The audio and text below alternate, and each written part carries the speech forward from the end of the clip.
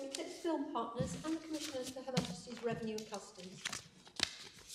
This appeal is about the powers of the first tier tribunal, the FTT, in relation to costs under, under the Tribunal First Tier Tax Chamber Rules 2009, the rules. The story begins with the appeal of Eclipse Film Partners number 35 LLP against the issue of a notice by Revenue and Customs, which determined that Eclipse did not carry on a trade or business. If correct, this would have severely adverse tax consequences for Eclipse. Eclipse appealed to the FTT against that notice. The appeal was allocated as a complex case under Rule 23 of the rules, and Eclipse served a request under Rule 10.3 that the proceedings be excluded from potential liability for costs or expenses under Rule 10.1c.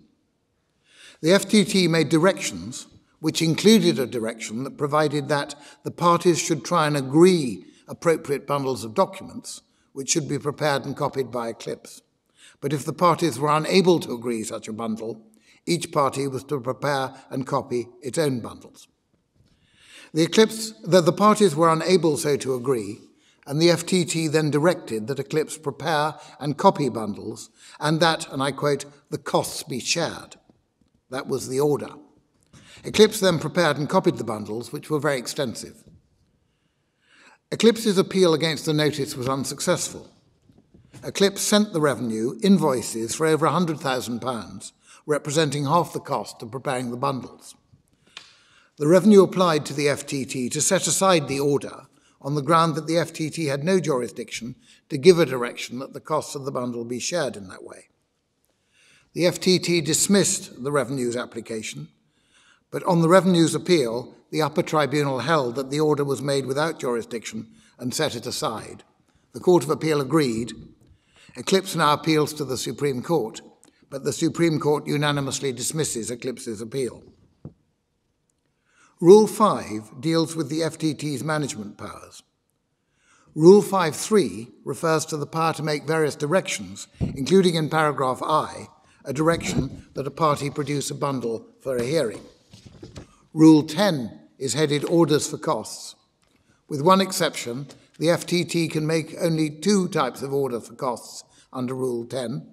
First, a wasted costs order under 10.1a, and secondly, an order for costs where the, a party has behaved unreasonably under 10.1b.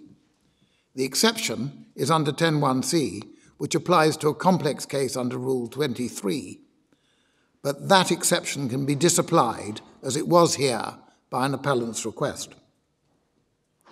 The reasoning of the Court of Appeal and of the Upper Tribunal was that as Rule 10.1c had been disapplied, the FTT could only make an order for costs if Rule 10.1a, wasted costs, or Rule 10.1b, unreasonable behaviour, applied, and neither of those justified the order in the present case.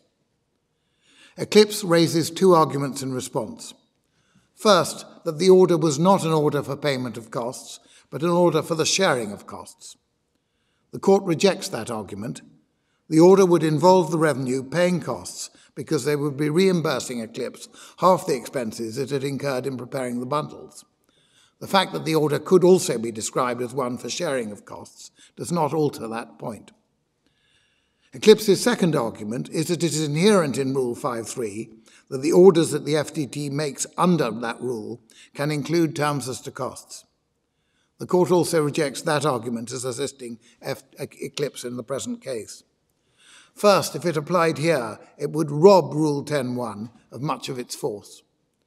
Secondly, it's inconsistent with Rules 10.3 to 10.7, which provide how costs awarded pursuant to Rule 10.1 are to be assessed and recovered.